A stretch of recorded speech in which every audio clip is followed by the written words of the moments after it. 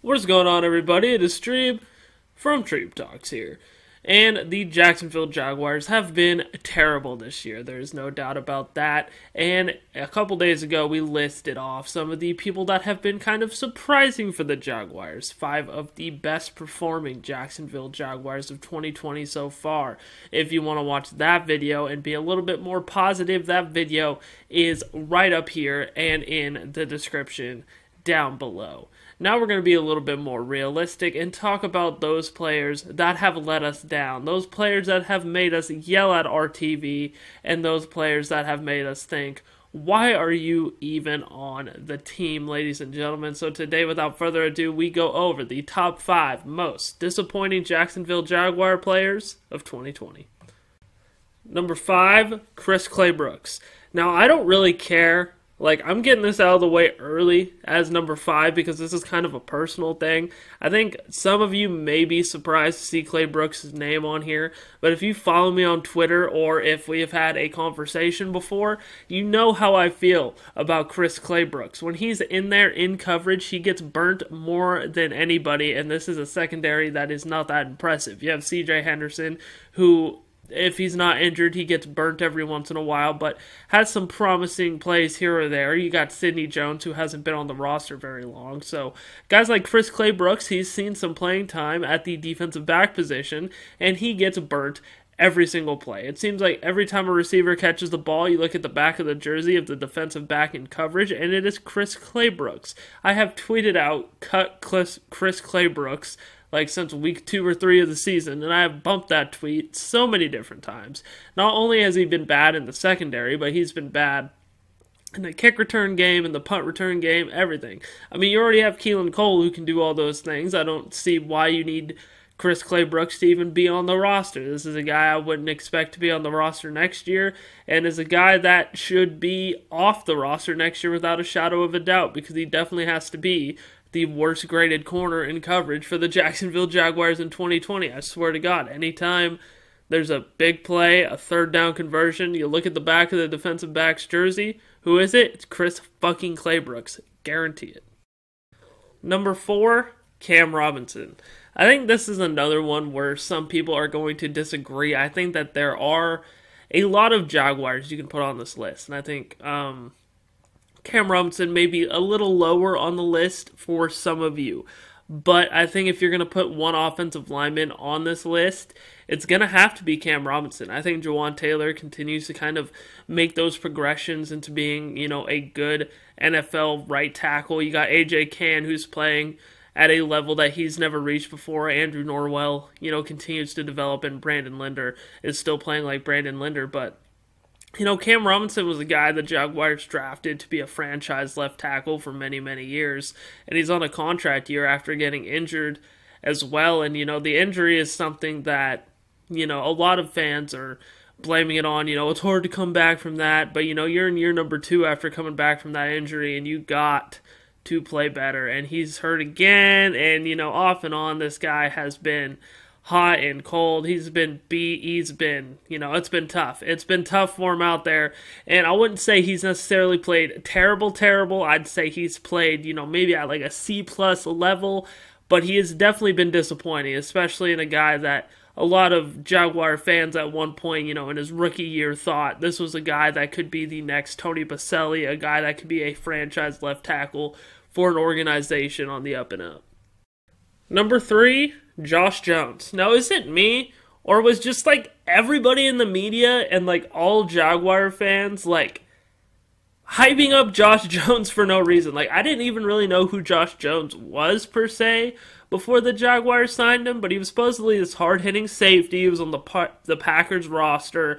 He was supposedly like this guy that was just you know on the edge of breaking out, and he's going to be coming into Jacksonville, and he was going to be a freaking dog, and he was going to be you know the savior at the safety position. It's the whole reason why they cut Ronnie Harrison, bro. This is a guy that is going to be you know the next star, the best thing since sliced bread, an ultimate opportunist at the safety position, Josh Jones. I don't even know what I'm doing right now. I'm just going on a rant at this point, but no, he's trash. He's garbage. He's absolute dumpster fire awful. Like, he is a main reason why the safety position now is probably the biggest need for the Jaguars heading into next season outside of the quarterback position. But, you know, quarterback, instant impact, you need that franchise guy. But I would say the safety position is right up there with the quarterback position. And a big reason is is because Josh Jones flopped. I mean, they, they didn't invest big money into Josh Jones, but I think they invested a lot of hype and a lot of promise into Josh Jones. I mean, you trade away Ronnie Harrison,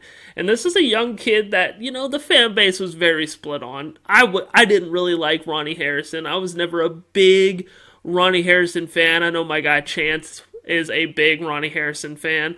And right now he's he's playing out of his mind in Cleveland. You know, props to him. He's getting turnovers, making plays.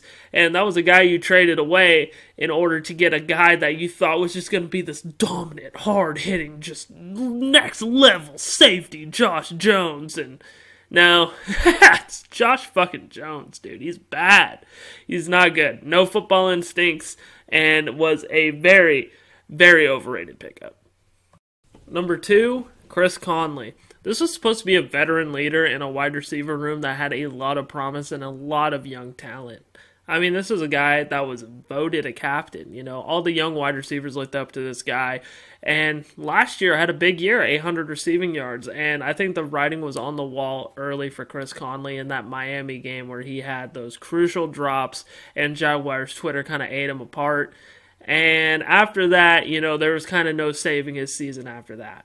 And, you know, Luton, Minshew, they both don't really look towards him, you know, except for the ever so often drag route or slant route where he kind of takes it for some yards after the catch. But other than that, I mean, there's nothing too spectacular, too crazy to write home about what his 2020 season has become. And it's been it's been super disappointing because this is a veteran receiver and a guy on a contract year too that uh, it seemed like he was going to be a big important factor in the development um, of DJ Chark, of Laviska Shenault, Collin Johnson, a lot of those guys.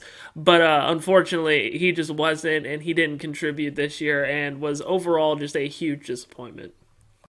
And coming in at number one, the entire defensive line. Now, I had a great sit down talk with uh, Lori Fitzpatrick, who will be in my upcoming um, Rebuilding the Jacksonville Jaguars um, episode, where she said she wasn't really surprised about how bad the defensive line performed, but I am ultimately shocked at how bad the defensive line is. Like, at just how astronomically bad they are. Like, Josh Allen has regressed. A sophomore slump so bad. Taven Bryan is bad. Bad. Dawuane Smoot, a guy who got six sacks last year. I mean, a guy that a lot of us thought was going to take a big step forward. Didn't take any steps forward, and, and if anything, took, you know, some steps back. I mean, what is there to say? This defensive line, Clay, K'Lavon Chaisson, I mean, he hasn't got any sacks. I mean, he clearly isn't playing um, a natural position out there, but I mean, this defensive line overall, man, has been complete and utter disappointment, and it's been a damn shame that the once proud Sacksonville name is now the bottom team in the NFL in sacks. What a difference three years makes.